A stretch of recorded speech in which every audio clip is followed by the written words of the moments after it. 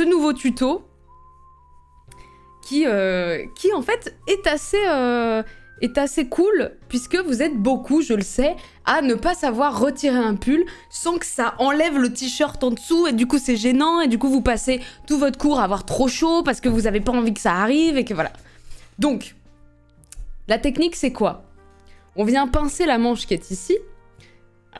Moi je suis droitière donc je pince la manche gauche. Si vous êtes gaucher, pincez la manche droite bien évidemment. Ne soyez pas stupide. Euh, et donc, on enlève le bras.